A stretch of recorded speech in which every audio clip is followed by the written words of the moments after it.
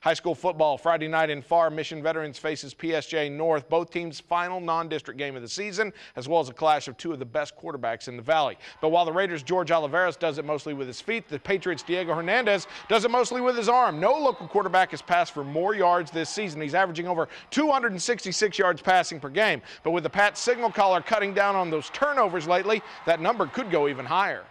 We have not reached our limit at all or our expectation at all by any means. Um, we've been real sloppy uh, throughout the couple games, but we've gelled together. We've done what it takes to get the W's and the things that we've asked him to do, he's doing. Right now, the, the biggest key for Diego is, is cutting down on the interceptions. Check it out. We've got high school football tomorrow night, Thursday, and you can follow along on Twitter at Action 4 Sports or Facebook, Instagram, all there, as well as valleycentral.com. Tonight, I'll have my picks for week four of the Valley High School football season.